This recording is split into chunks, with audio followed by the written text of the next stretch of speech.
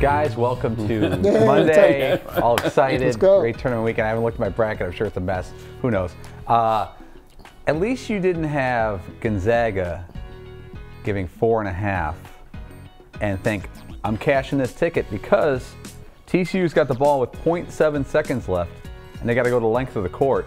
I know the backups are in maybe, you know, someone wants to get a shot up, but the odds are it's going to be like one of those 50 footers unless this happens.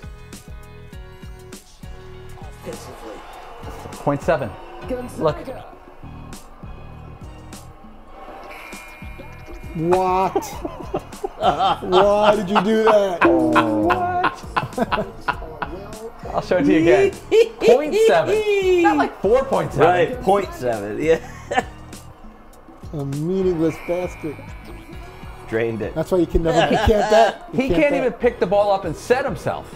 It has to be a, a grab and heave. I'm surprised they let it didn't let it go all the way down to the basket with the ball. Just let it roll, let it roll. Gosh. Okay, man. I'm going to get to one more thing though. Here is Eric Musselman, the Muscle Man. After Arkansas takes down number one Kansas, the shirt off. You remember he did that in Nevada. Oh yeah. Shouldn't you have muscles if you're going to be named Muscle? Oh, easy. Okay. Easy. L- That's fair. What?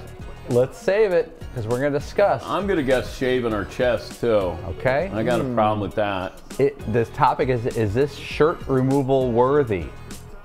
And there's some other topics. Should he be taking off his shirt? Is he in good shape? Good shape for his age? Yeah, Okay. okay. A lot Yeah, of okay, like questions. that. You knock off one seed in Kansas. I see where you're leaning.